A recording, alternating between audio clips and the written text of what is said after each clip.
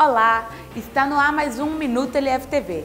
Durante essa semana tivemos como destaque a maneira como os cavalos podem auxiliar no tratamento terapêutico de pessoas com necessidades especiais. A Associação Baiana de Ecoterapia está há 26 anos realizando esse trabalho com os cavalos do Esquadrão da Polícia Montada da Bahia. E na terça-feira, a Câmara de Vereadores aqui de Lauro de Freitas entregou a Gil Jaraguá, conhecido principalmente pelos moradores da Itinga, o título de cidadão Lauro Freitense. Na ocasião, Gil contou um pouco da sua história aqui na cidade.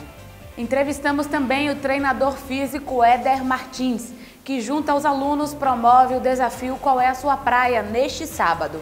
Uma corrida de 37 quilômetros que sai da praia de Guarajuba e chega a Vilas do Atlântico.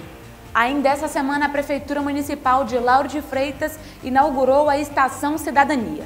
O local antes conhecido como Campo da Maconha, localizado no Jardim Pouso Alegre, na Itinga, agora conta com um complexo de equipamentos para a comunidade.